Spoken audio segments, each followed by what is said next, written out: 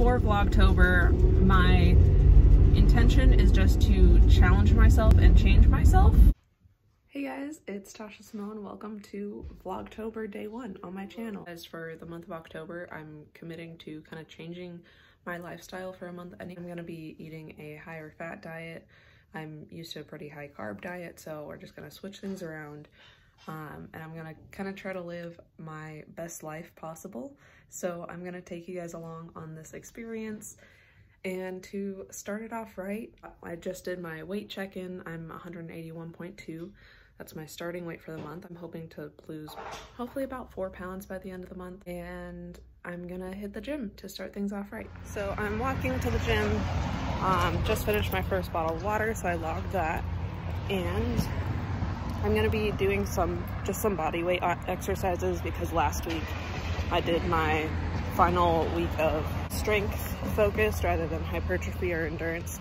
So I'm gonna continue in the pattern that I've had set up and do a deload week, take it a little easy, but still get some movement in, get some body weight exercises. Yeah.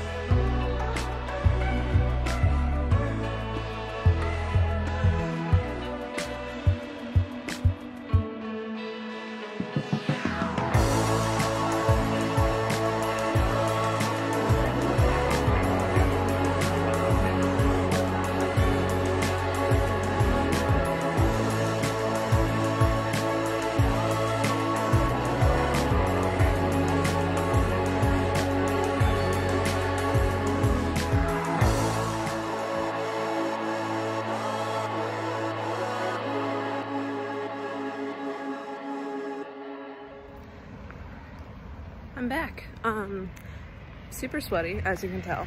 I ended up doing basically all that I did today was intervals. Now I'm walking back to my apartment, gonna get my protein shake and get ready for work.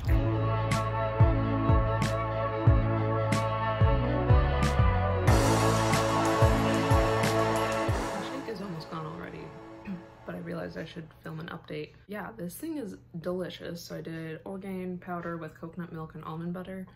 Um, and then I put it into my fitness pal and this thing is like 53% fat, which is scary to me, but I think I need to get used to it um, because it's also likely gonna be my like lowest carb meal of the day because there's barely any carbs in this thing. Um, this thing broke down to, I think, 24 grams of carbs, 26 grams of fat, and 28 grams of protein.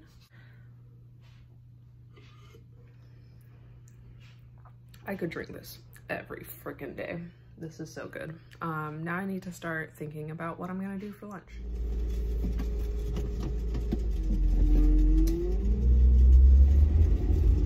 So this is gonna be a very interesting month. Um, and I kind of want to give you guys an intro into what I'm foreseeing unfolding over the course of October. So with the food that I've eaten and prepared for today already, I'm uh, well over the macro percentages in fat, which I was like scared I wasn't gonna be capable of. Um, and I had actually been reading some articles about doing like a high fat diet and this one lady was recommending to herself and all her clients that she gets like a minimum of 50% of healthy fats, um, calories from healthy fats, which sounded insane to me. But that's about where I'm at so far.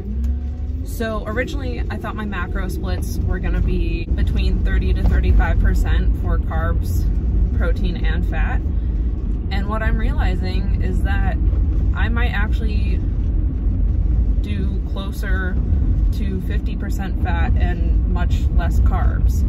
I do seem to be falling behind a little bit on my protein, so I'm gonna have to address that later in the day. For Vlogtober, my intention is just to challenge myself and change myself. Hopefully see if the challenge does any change. Um, that's really gonna be my theme, like, and kind of facing food fears and just going against what I've been doing the last two years just to see if see how my body responds. I like experimenting on myself. There, there might be a couple days where I don't get a video up, but I'm gonna do my best to do every day of Vlogtober. But I'll try to make it fun, try to make it interesting, and we'll see where this gets us. It's cold today. It was 44 degrees when I woke up this morning. So yeah, it's comfy sweatshirt day. I'm currently on my way to work and unfortunately I can't show you guys any footage from work because I work in a secure building but I'll check in with you guys pretty soon. Okay, so I've just been thinking for a little bit, still on my woodwork, but I'm realizing now is that I want to get over my fear of fat in foods um, because I think it is definitely a bit of a fear. Like there have been so many foods that I've just like turned away because it's there's too much fat in it. And granted, I don't want to just go like chugging canola oil, but I do want to make sure that I'm getting enough healthy fats um, and I want to make sure that I'm giving my body what it needs.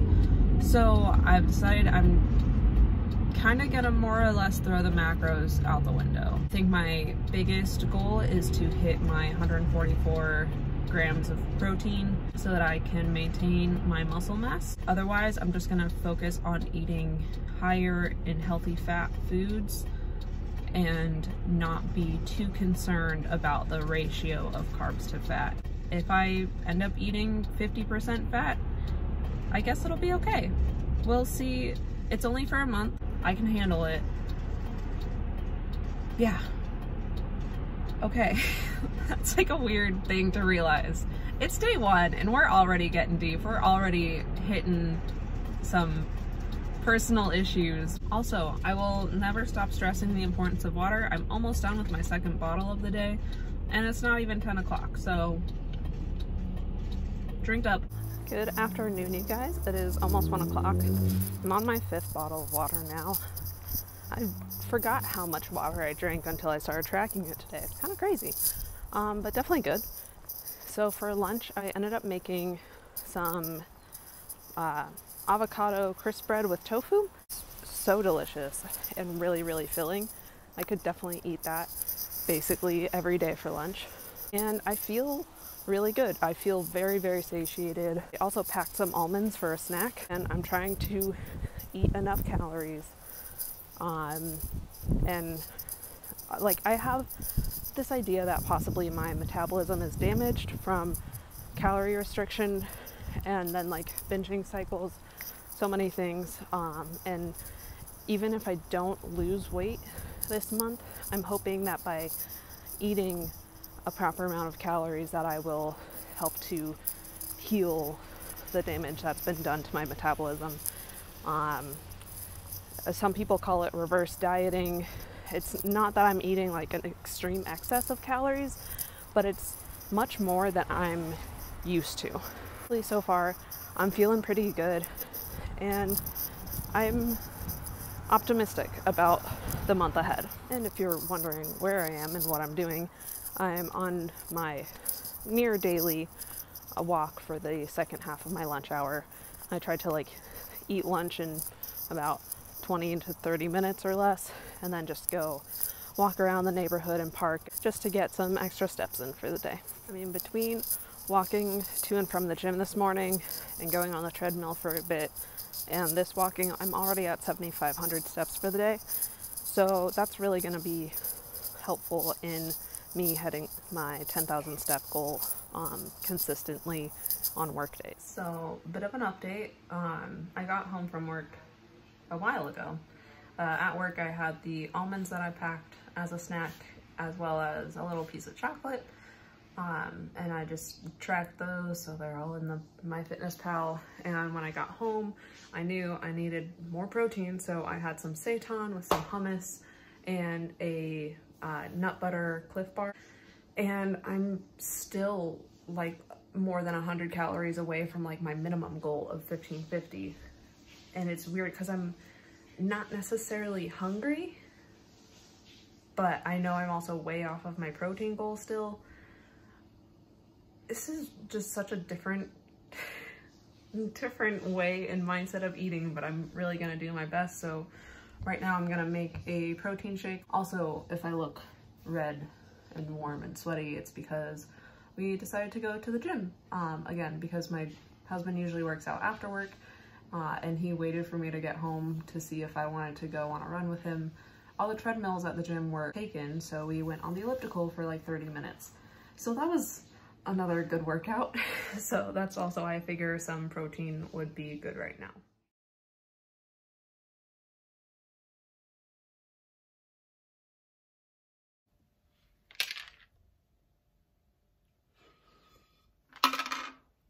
So that protein shake I think is gonna be it for the night. It is 7.30 and like I said, I don't wanna eat past eight. I'm within my calorie range. I didn't quite hit my protein goal, but 144 grams of protein is a lot.